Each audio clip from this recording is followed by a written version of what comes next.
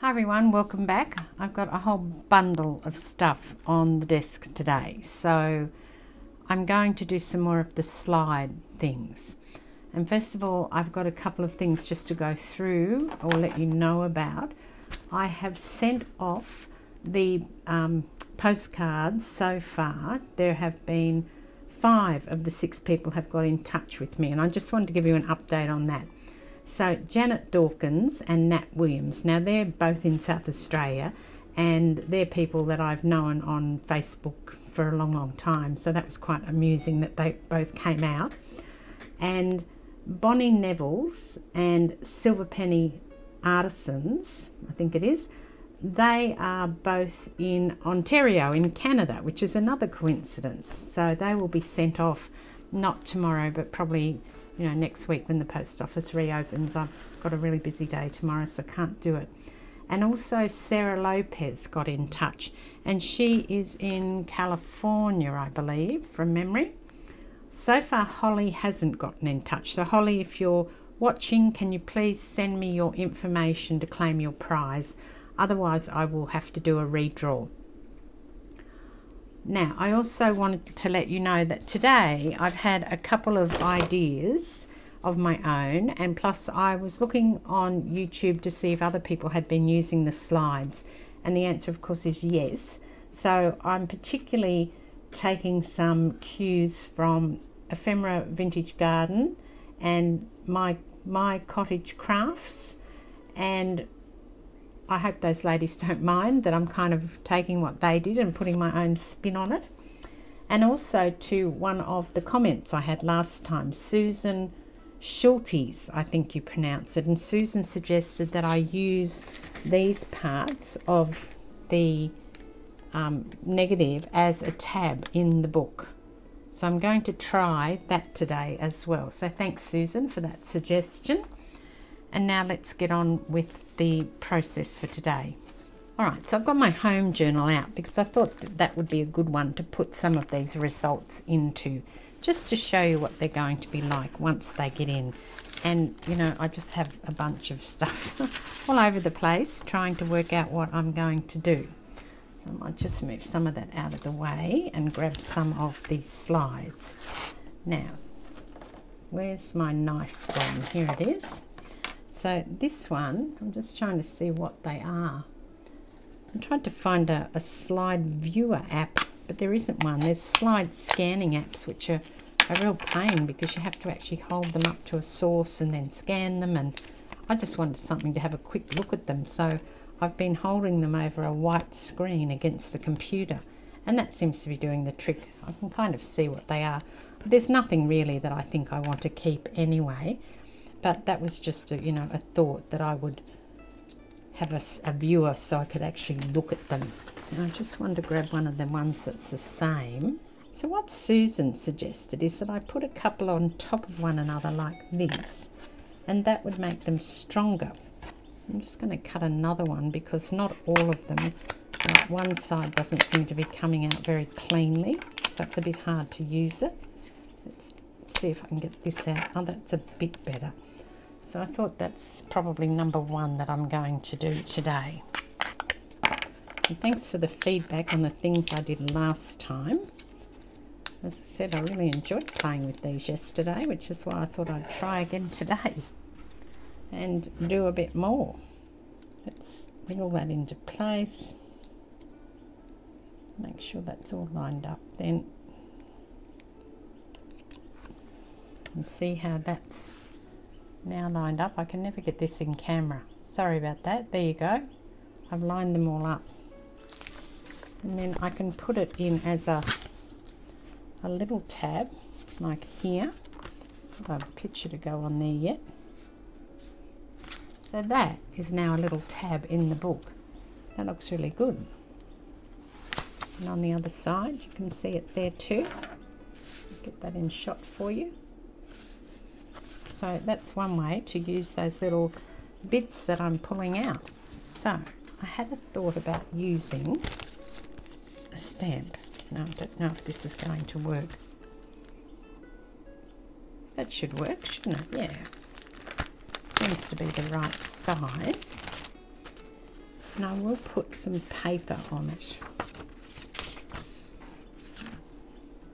I put paper down yesterday, I know, but I thought I'd just try that again because it makes a really good base. And obviously, if you want the Kodak thing to show, then don't put the paper down.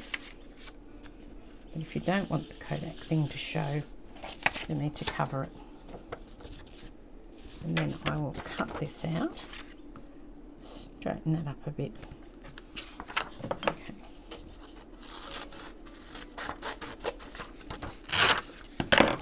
Tear that like I did yesterday actually. Prefer the torn edge. Where's my stamp? Oh, first of all I want to ink on the edges and ink the paper generally because this is quite white. It is old, this book. It just hasn't gone into that nice vintage realm yet. And then I want to put the stamp in there. Let's see if it's going to be enough. So instead of gluing it, I'm going to get some of that washi I had before and use that because it's going to be a bit of a delicate operation this one. I'm going to start by putting that on the bottom of the stamp and then seeing if I can position that here so it's there. This is just a Captain Cook stamp but it's a bit vintagey that's why I thought I'd use it. Of course you could use double-sided tape or something to do this instead of washi. Just I had the washi handy. And I am going to put some down the sides because otherwise it'll push through there.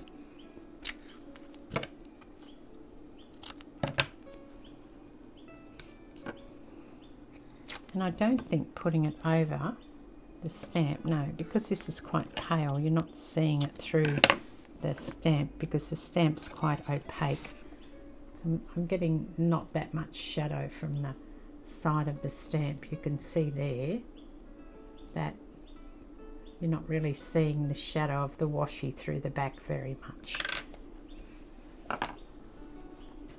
Now also, I do want to, I was thinking I might put another, no I probably won't do that. But I do want to do some more stamping like I did yesterday because I really like that effect. And I did get a stamp block out today so I could manage it a little better. So I'm going to see what numbers and things I've got on here. What about this one?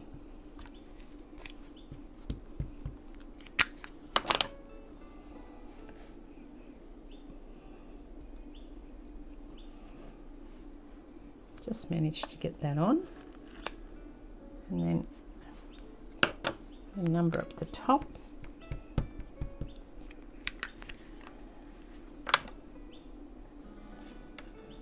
I'll actually put it down the side here.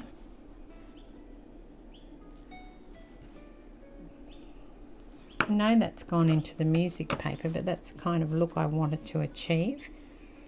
Now the other thing I want is that round stamp again I do have other round stamps, but they're wooden ones, and I've got this one, so it doesn't matter if I'm using the same one again. So I really like the look of this round against here, especially because it says received.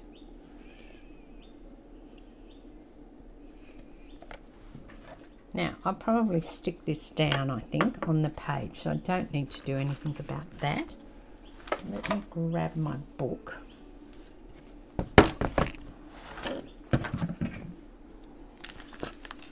Those of you who don't know who Captain Cook is, this is the bicentenary, so that's 200 years.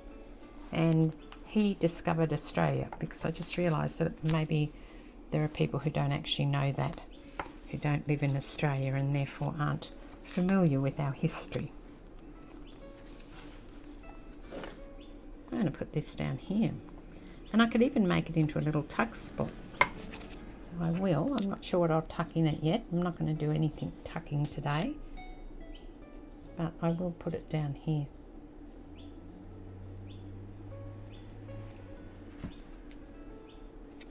Is it on the right side? Yes.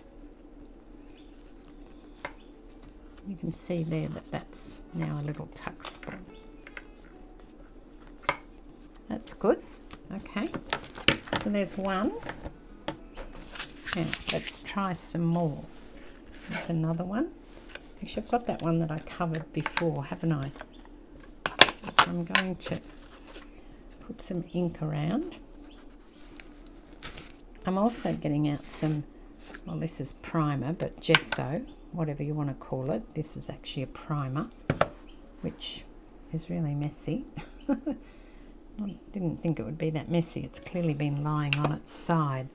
And I thought I might run some stuff around it. Just make those numbers and those um, music a bit more hidden than what they are at the moment.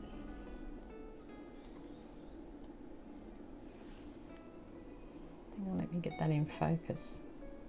Okay, so that's just sort of step one. So I'll be doing some more to that in a moment. And then this next one I'm going to cover with some tissue.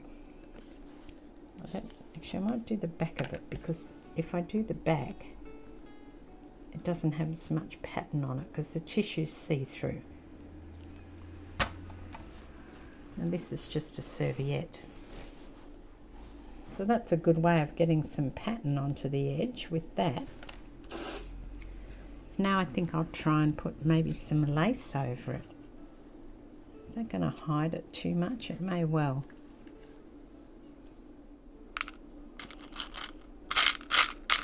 Just delving into my box of buttons here. Having gathered even more supplies now, I'm going to try some things. Now, I've got this little teacup. This is one of the chipboard pieces from the Alice collection, the Stamperia Alice collection.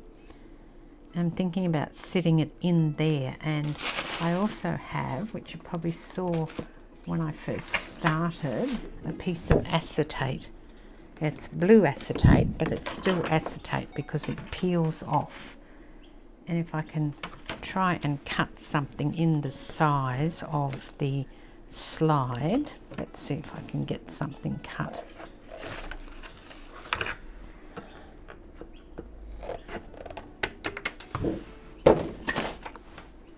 And where's my slide gone here? And here's my teapot or my teacup.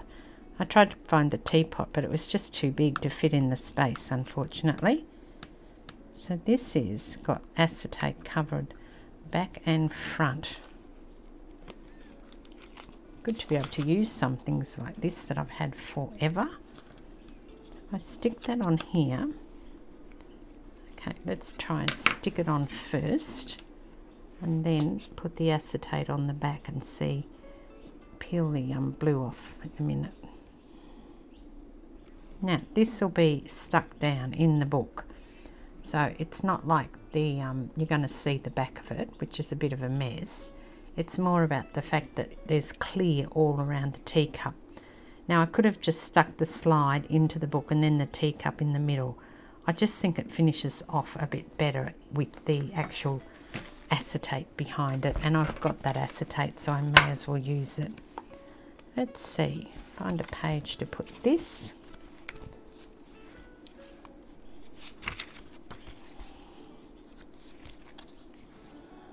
Oh, I want something that's got some green on it. That's all fairly heavily embellished, that one. And I also probably want like a whiter page rather than something that's very coloured. I could put it down the bottom here. And that's got a cream background then. Let's pop it down. I've still got to finish this. You can see I've got my tags in here still showing me what to finish. Sorry I didn't give you a look at it. There it is there. So it's against that cream background, but you're not getting um, the clear through, but you can see that it's sitting, you know, level with the frame rather than behind the frame. That's another one. Now what else have I got? Okay, I've got this. So I think I'm going to go back to my paper and put some more paper down here. And I'm going to use some dress pattern paper. Now I will go back to using my normal thing which is the binding medium or the matte medium. So I do want this to stick down fully. If I can get this to flow. To buy myself a new pokey tool because I think I've practically ruined this one using it for doing things like that. So don't use it for things like that, okay? If you want it to stay in good condition, you probably shouldn't do that. But it's just so handy. And then I'll put some paper along here. And see what else I've got.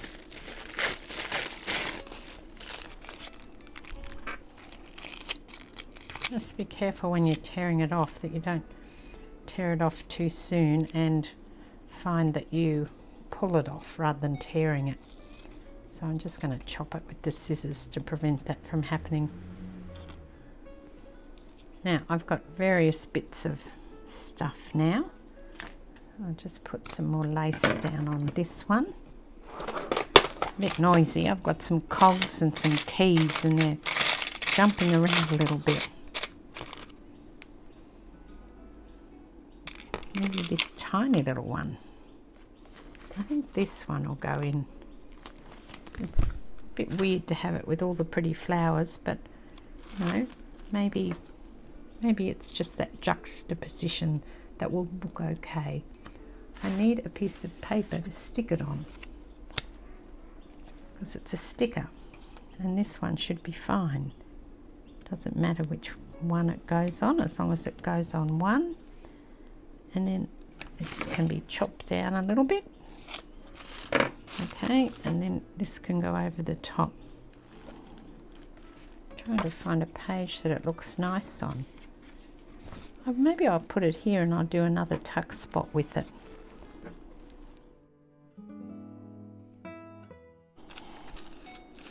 I really like the, the black line and the, still seeing the words coming through and the brown paper which has made it look really vintagey really easily. I think I'll just cut a little piece for here. I was looking for my um, palette knife but I was actually holding it. my daughter was telling me this story yesterday that years and years ago when she worked in a place she no longer works, hasn't for many years, there were these two, what she called older women, probably my age, you know, probably in their 50s or 60s at the time. Anyway, they were walking around and they came up to her and they said, We can't find, I don't know, let's call her Gladys. we can't find Gladys's glasses. And we'll call them Gladys and Mary. So We've been looking for an hour. We've checked everywhere. We've walked around the whole building and we cannot find Gladys's glasses.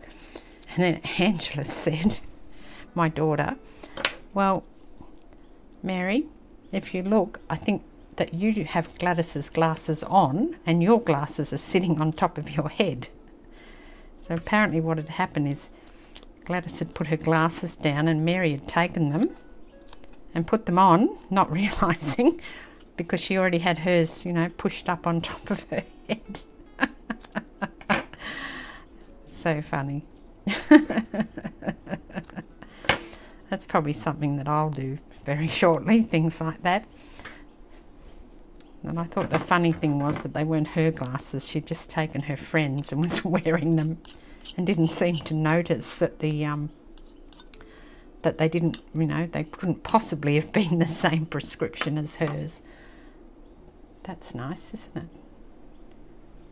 it? Anyway, so we've got that one done. I'll keep that little bit. I'll do some more of these, I think. And, oh, that's right. I had one over here that I was doing. I forgot about this little one. And maybe I'll put the white lace in that one I don't actually like that lace in there. I think this one would be much nicer. Yep, I'll put this one in here.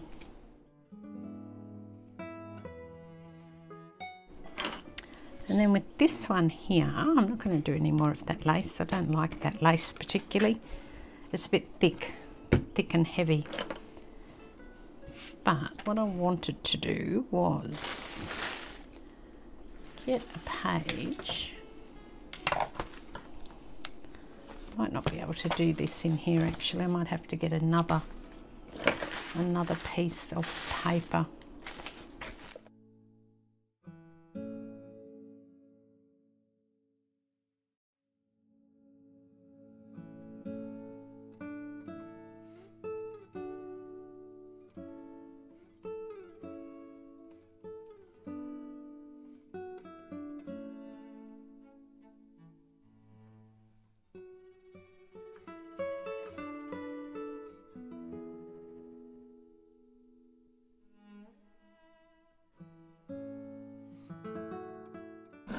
Now I'm going to go back to my book and see if I can find somewhere to put this.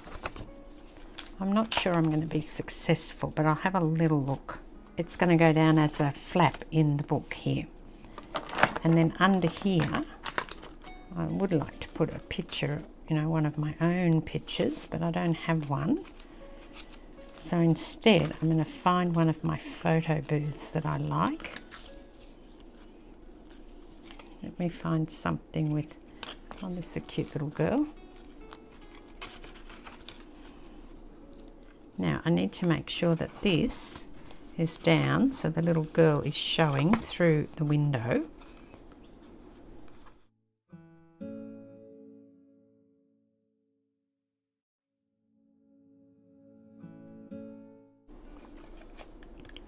It's a church somewhere.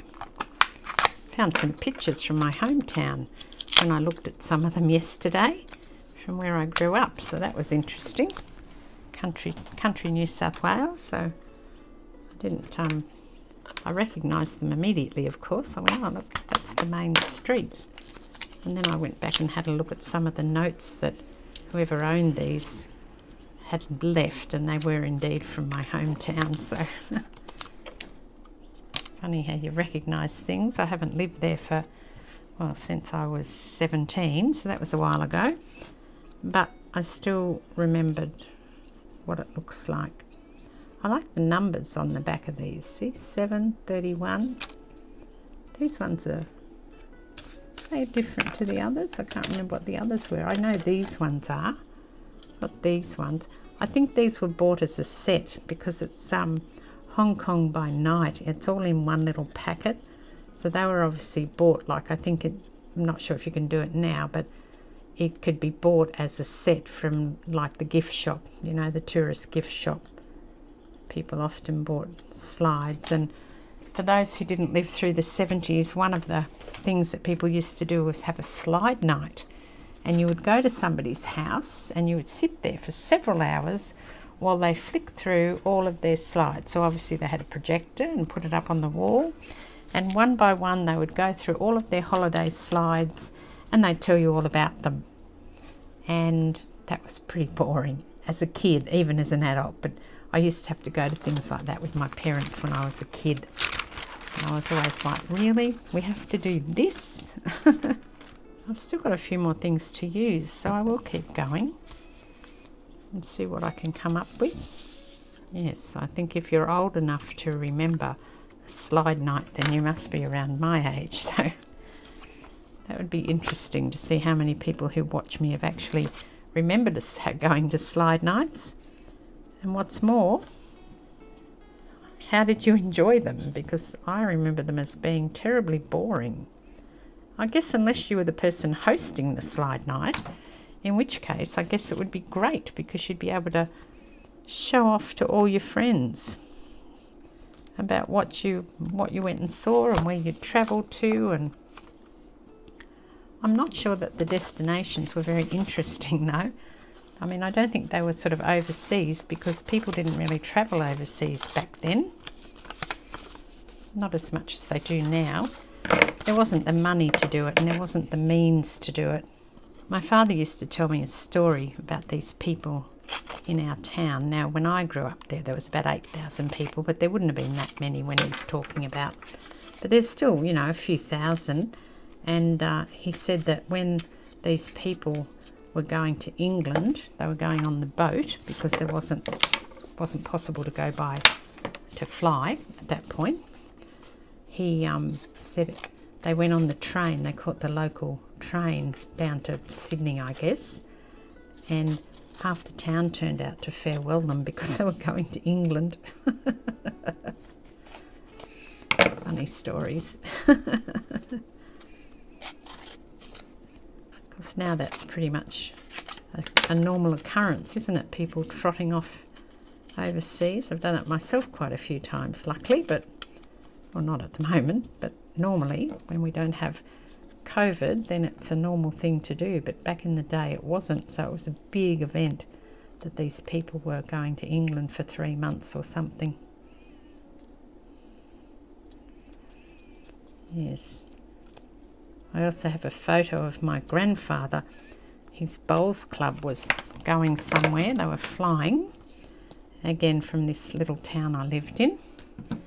And uh, they, I've got a photo. It's um, TAA, and TAA is an airline that no longer exists in Australia, but it used to. And they have a photo of the pilot and the um, hostesses and the the bowls, the, all the, the men on the bowls team, of which my grandfather was one, and they're all going. I guess they were going to Sydney or Melbourne or somewhere for a tournament. I don't know, somewhere for a tournament.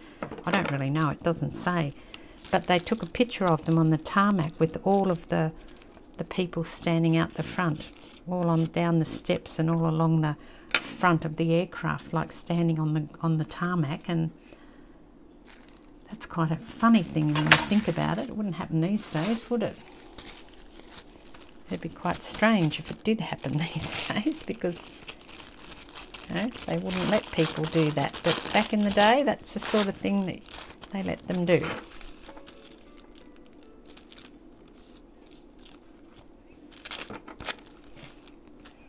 So there you go how times have changed just in my generation and well in my father's and grandfather's generation they've changed tremendously because when my father grew up back in the 30s he was born in 1930 and he used to travel in a sulky with his mum to go anywhere because that was the mode of transport and he rode a horse to school he always had a story to tell. I miss his stories, even though I heard them so many times over the years. Since he, since he left us last year, I miss his stories. I've got them to hand on now. I always tell my children when he was around to listen to their grandfather's stories because he was a great storyteller. And when he was gone, when he's gone, you won't hear them anymore. And they used to get, oh yes, do we have to listen again? We've heard them, but I think family history is very important. I think it's good to listen to the stories of the older generation. It's a completely different world in which they grew up. And just like my world's a completely different world to how my children grew up. And, you know, the generations today. So I think it's important to learn the lessons and to remember that it wasn't always so easy in life to do things. It was always a lot harder. It's so easy now to do anything. That's one of the lists. I'm going to be doing a, a thing on lists very soon. Prompts. Prompts for your journaling. That's on my list to do. No, that wasn't a joke. but it is on my list of things to do to actually go through and start creating some prompts for journaling things like that you know so I might do that sooner rather than later think because we've I keep getting reminded that I need to do things like that time's short I need to get things done and remembered and write them down. I mean, they may just go all in the bin when I'm gone, but at least I've taken the effort to write it down.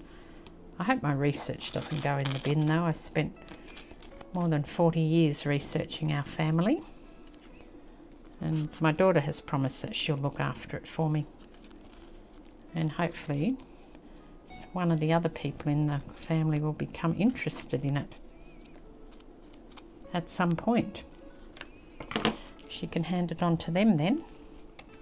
I think I'll put this bit of lace down on here and then I think I'll have a break for a little while because I've been going now for like an hour and a half and my back gets sore when I keep sitting here. I have to get a better chair because it's really annoying me that I can't sit for more than this before I have to get up. Maybe I'll do this one. This has got stuff all over it. I've obviously coloured it with something at one point and rusted it. Quite nice though. now I've just got a sticky backed butterfly that I'll put in here to create that effect of the um, you know the botanical slide image. It's just white on the back, which is why I'll probably put it into a book, so then you won't see it. The other thing I could have done, I've done that before, is to paint the back in black and then put another slide over the top. So I've done that black shadow effect before and it really is effective. Okay, I think I'm going to stop there for the day and I'll come back and do some more tomorrow because right at the moment I need to stand up and stretch. So I hope you enjoyed that and you've got some more ideas and I will be playing again tomorrow with these. So this is Debra Thank you very much for watching and I will see you tomorrow. Cheers.